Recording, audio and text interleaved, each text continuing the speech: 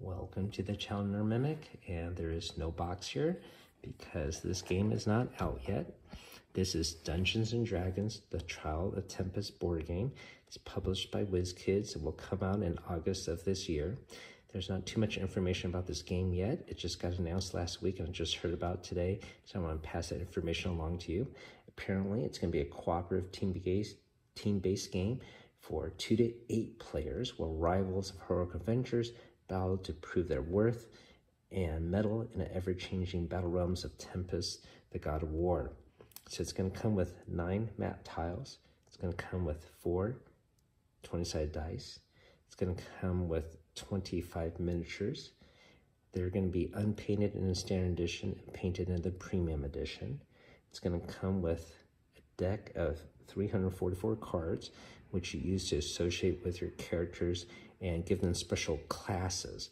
Um, so uh, it's you want to use your classes to um, outwit or maneuver your opponents.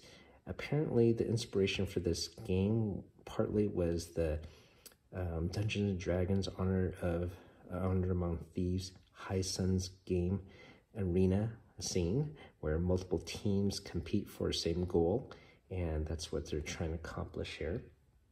It's also going to come out with 333 tokens, which uh, I'm never a big fan of a game with so many tokens.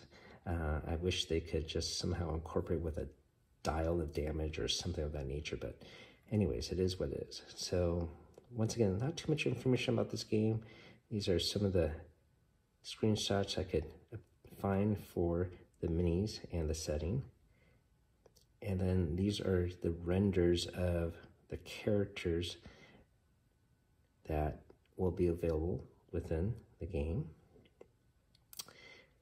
Most of these I have seen in other sets.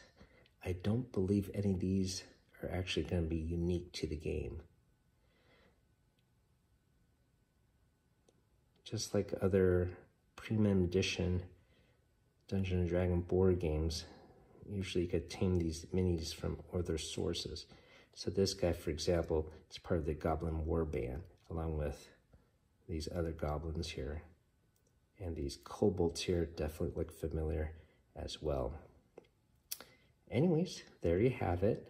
This is the Trial of Tempus board game. The premium edition tends to go up in value, be hard to find later. So I did put in a pre-order for this game. The base price is $199. I'll put a link down below for some um, sites that are still having it for 150 for pre-order. Um, they're going fast and some sites are already sold out. So um, if you find this information helpful, uh, you might want to jump in now. Obviously, if the game turns out to have other information later, I'll try to share it. And of course, you can cancel pre-order later. There you have it. Thank you for watching.